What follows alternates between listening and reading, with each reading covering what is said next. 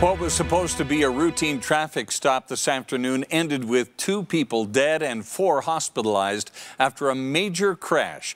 This is a live look at the scene at 4500 South Highland Drive. Yeah, what's typically very busy roadway is completely empty there, as you can see. Fox 13's Diego Romo is on the scene for us right now. An evolving situation. Diego, what are police telling you right now?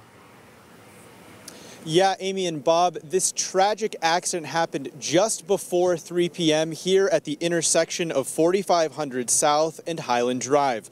Police say an off-duty officer saw a car traveling at a very high speed southbound on Highland Drive, and this is what Sergeant Melody Cutler says happened after police tried to pull the car over. He was going to initiate a, a traffic stop. That vehicle took off. Um, that is this can't see it from here, the vehicle here on the corner.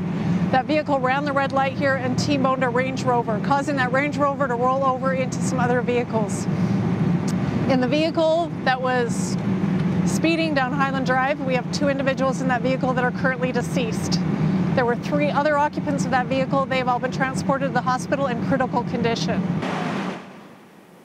The passenger of the Range Rover that was T-boned had to be pulled from the car with jaws of life just a little while ago. She is said to be conscious but in critical condition. Now crews right now are still working to clean up the scene and they say it's going to be until about 9 p.m. until that happens. So until then they're asking you to just please avoid this area. Live in Holladay Diego Romo, Fox 13 News, Utah.